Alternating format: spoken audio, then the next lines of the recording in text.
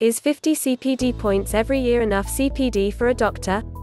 From Mythbusters at https colon slash slash www.rcgp.org.uk slash.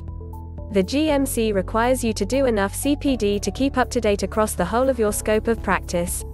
This may require more, or less, than 50 credits depending on the scope of practice and your qualifications and experience in each area of work.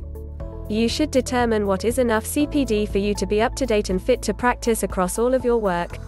You should discuss this with your appraiser and, when necessary, get explicit agreement from your responsible officer that what you are doing is appropriate for your circumstances.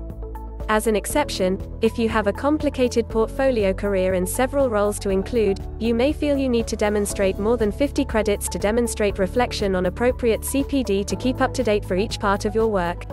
You should keep the detailed documentation proportionate and reasonable. Most doctors find it easier to keep a learning log that builds up as they go through the year, and this could amount to over 50 credits by the end of the year. If the documentation of the reflection has not been allowed to become disproportionate, you should be the one to decide what works for you. The appraisal discussion should focus on the credits that reflect on the most valuable and representative learning. The RCGP recommends that you should reflect on the balance of your CPD and discuss it with your appraiser. If you are working as a GP providing undifferentiated primary care, we recommend that you demonstrate 50 credits of CPD relating to the breadth of the GP curriculum.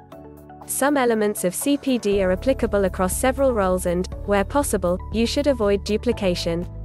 From Mythbusters at https colon slash slash www.rcgp.org.uk slash. For further help and support, please visit Medical Appraisals at www.medicalappraisals.org.uk.